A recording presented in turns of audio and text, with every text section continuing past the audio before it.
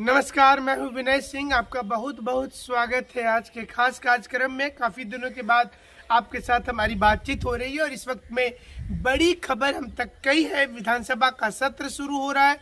इसके साथ साथ विधायकों का घेराव भी शुरू हो रहा है और साथ में मंत्रियों का भी घेराव शुरू हो चुका है। यानी कि कई ऐसे मुद्दे हैं जिस पर झारखंड में ये सब कुछ होने लगा है। लेकिन ये सब कुछ क्यों हो रहा है? क्या इसका डिमांड है? ज़ाहिर सी चीज़ है कि झारखंड में सरकार बनने के बाद, और यूँ कहे तो झारखंड बनने के बाद कई बार नौकरी को लेकर आंदोलन हो चुका है। विधानसभा का सत्र शुरू होता है, स्टूडेंट की उम्मीदें जाग जाती हैं। इस बार क्या विधानसभा में कोई भी कुछ बोलेगा या विधानसभा के बाहर दिल खोलकर बोलेगा? क्या कुछ सच होगा? इसी पर आज बात करेंगे। जेपीएससी की तैयारी में आप लगे हुए हैं। लगातार हम आपको मार्गदर्शन दे रहे हैं। अंतिम समय में कैसे तैयारी करनी चाहिए, क्या पढ़ना चाहिए? और हमारी कई वीडियो आपके लिए मौजूद है। आप विनय आई एस अकेडमी के यूट्यूब चैनल के प्लेलिस्ट में सारी वीडियो को देख सकते हैं। झारखंड सब्जेक्ट कैटेगरी में जाकर के, जिसमें सभी वीडियो को डिटेल्स में बताया गया है। तो चलिए, अब शुरुआत कर लेते हैं कि झारखंड में ये सब कुछ कैसे होगा, कब होगा और क्या? झारखंड सरकार आने वाले समय में आपके लिए कुछ सोचेगी। सबसे पहले शुरुआत कर लेते हैं जेपीएससी परीक्षा को लेकर। जेपीएससी परीक्षा हो रही है 19 सितंबर को होगी और इसके लिए पूरी तैयारी कर ली गई है।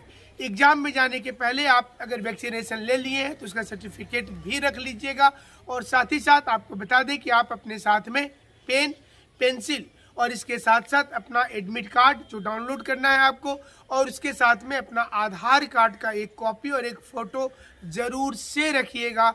हो सकता है कि कहीं सेंटर में आपको किसी प्रकार की दिक्कत हो जाए। दिक्कत से बचना है तो इन चीज़ों को फॉलो करेंगे तो आपको दिक्कत नहीं होगी।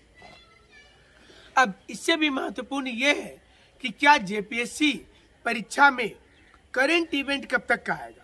क्योंकि इस समय में स्टूडेंट के दिमाग में ही चल रहा है। ढेर सारे मैगजीन है मार्केट में।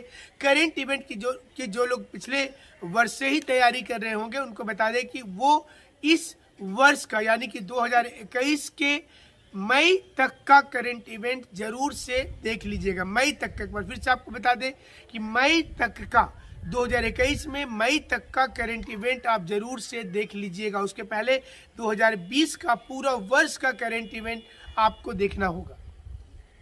इसके अलावा विशेष आपको ध्यान जो है, वो झारखंड विषय पर ही दे दीजिए, क्योंकि 115 क्वेश्चन वहाँ से आ रहा है 100 पूरा का पूरा, और दूसरे विषय में 15 क्वेश्चन है। तो जेएसएससी का क्या होगा? जेपीएससी तो अपना रास्ता को पकड़ रही है, लेकिन जेएसएससी क्यों इतना पीछे पीछे चल रही है?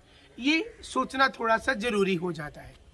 हमारे पास एक खबर आ रही है कि जेएसएससी को लेकर जो नियमावली बनाया गया है, उस नियमावली पर सब कुछ ठीक नहीं है और संभवतः इसी सप्ताह, यानी कि आने वाले वीक में हाईकोर्ट में केस दर्ज हो जाएगा और इसके बाद एक बार फिर से झारखंड में ग्रहण लगना तय है खास करके क्लास थ्री और क्लास फोर की नौकरी में। इसलिए ज़रूरी हो जाता है कि सरकार को विधानसभा सत्र के दौरान भी एक बार इस पर चर्चा ज़रूर से कर लेनी चाहिए कि क्या ये सही है, क्योंकि सभी विधायकों ने दबे और बुझे मन से भी कहा है कि ये सब कुछ ठीक नहीं है। जो जीते हुए विधायक है, जो जो मंत्री है, वो खुलकर तो नहीं बोल रहे, लेकिन उनको ये समझ में आ रहा है कि इससे सरकार की मुश्किलें बढ़ेगी। तो फिर क्या जेटेट हो पाएगा? जेटिट 2021 के आयोजन को लेकर विधानसभा सत्र के ठीक पहले लगभग इक्यासी के इक्यासी विधायकों को चिट्ठी सौंपी गई है। लगभग सत्तर विधायकों की सूची हम तक आई है, चिट्ठी भी हम तक आई है, जिसमें सभी स्टूडेंट ने जो जो विधायकों को लेटर दिया गया, उसमें डिमांड किया गया है कि कम से कम उनके बारे में विचार किया जाए और जेटेड परीक्षा का आयोजन किया जाए।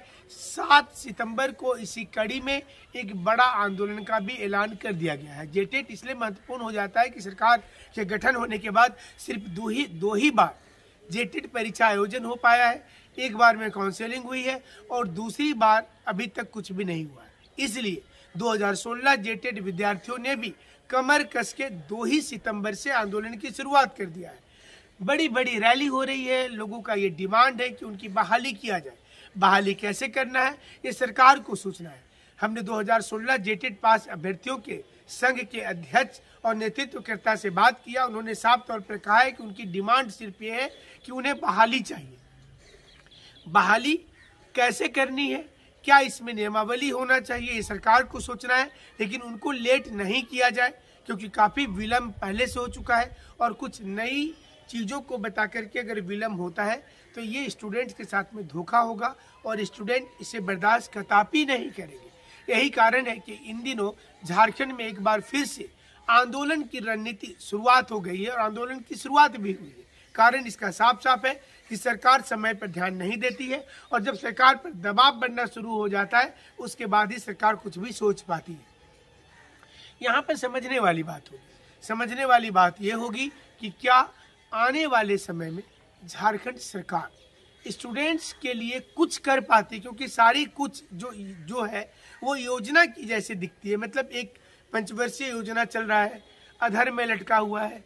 तो वो जैसे सरकार बोलती है कि हम सामाजिक चीज़ों को देखेंगे, पर्यावरण बेहतर कर देंगे। उसी प्रकार की ये एक योजना नज़र आती है कि युवाओं के लिए सोचेंगे।